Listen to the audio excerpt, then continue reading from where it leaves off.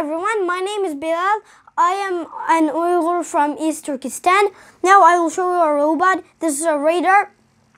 It detects objects from the sky like airplanes, helicopters, and rockets.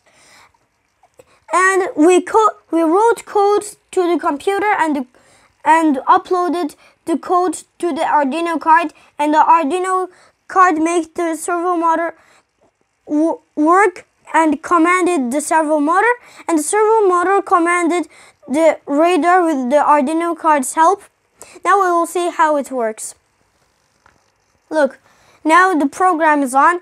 We will make it work on, on the helicopter. Look, when we make it closer, we could see the red lines to the end. If we make it backwards, you can see the red lines here. Now, if you want to make robots like these, you can come to our class. See you later. See you. See you.